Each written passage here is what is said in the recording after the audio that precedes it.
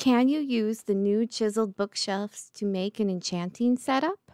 Let's see. Let's put the shelves and fill it with books.